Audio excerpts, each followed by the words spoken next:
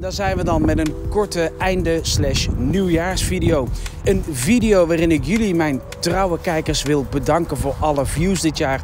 En de enorme groei die ik met Insta Autovlog heb doorgemaakt. Ik begon dit jaar met bijna 30.000 kijkers per maand. En inmiddels zit ik al bijna aan de 200.000 kijkers per maand. 85% van jullie is afkomstig uit Nederland en daar ben ik erg trots op. Want dat is het publiek dat ik wil bereiken. De Nederlandse consument. Terugkijkend op het autojaar 2019, ja, het was weer een roerige. Er gebeurde weer ontzettend veel in Nederland. De diesel, die was in één keer dood. En we zien steeds meer de komst van auto's met een stekker. Een goede ontwikkeling wat mij betreft. Zeker nu ook de volledig elektrische auto echt records na records breekt voor wat betreft de verkoop. Al zijn het natuurlijk heel veel leaseauto's die voornamelijk de markt op komen. Maar toch, hopelijk blijven ze hier. Want ik ben van mening dat je er ook als particulier echt beter mee af bent.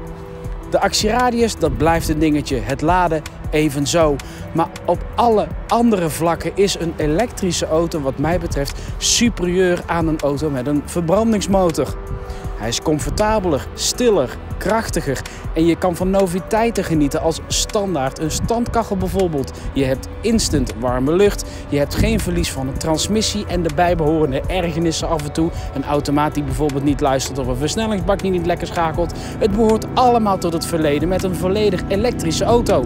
Want wat je met een elektrische auto ook namelijk niet dient te vergeten, is dat ze over het algemeen een stuk betrouwbaarder zijn. Een elektrische auto kent minder draaiende delen bijvoorbeeld dan een conventionele auto met een verbrandingsmotor.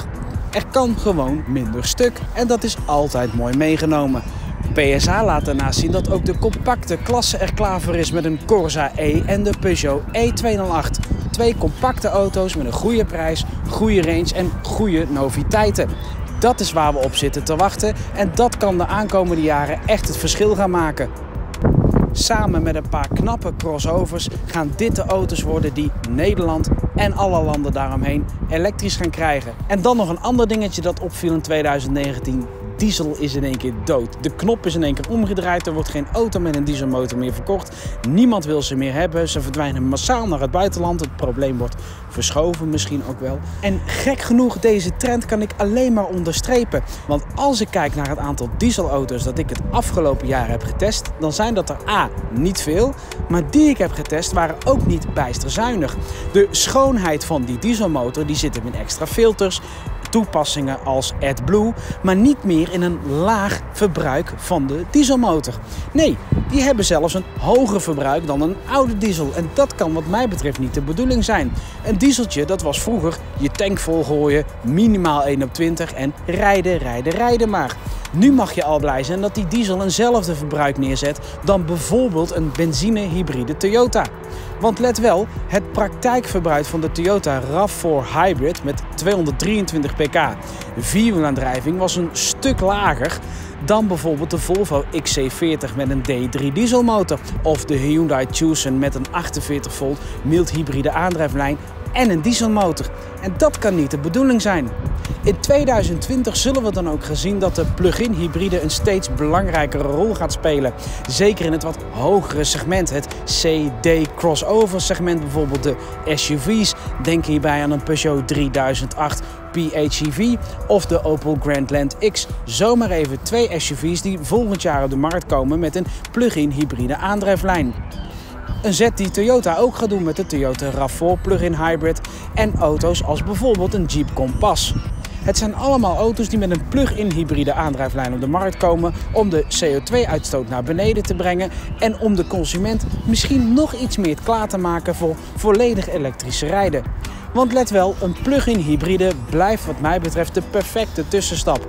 90% van jouw ritjes kan je volledig elektrisch rijden met het bijbehorende comfort wat mij betreft, terwijl je toch nog de vrijheid houdt van een normale brandstofmotor. Je kan hem weer vol tanken en weer verder als je bijvoorbeeld op vakantie gaat. En ondanks dat experts voorspellen dat de elektrische autoverkoop volgend jaar in zal storten, denk ik persoonlijk dat dit wel mee zal vallen. Ja, Q1 zal er iets minder worden geregistreerd, omdat alles al in december dit jaar is verkocht. Maar daarna zal er echt wel weer een sprongetje omhoog worden gemaakt. Ik leg heel veel kansen weg voor bijvoorbeeld de Peugeot E208, de Opel Corsa E en die nieuwe elektrische MG die ik nou toch echt maar eens moet gaan testen. En ook zo'n fijne, ruime en krachtige e-Niro achter mij zal voorzien van een driefase boordlader en het nieuwe UVO-Connect connectiviteitssysteem absoluut relevant blijven. Voor nu wens ik jullie een fijne en veilige jaarwisseling en alle geluk en gezondheid voor 2020. Dat het wederom een mooi jaar mag worden. Doei!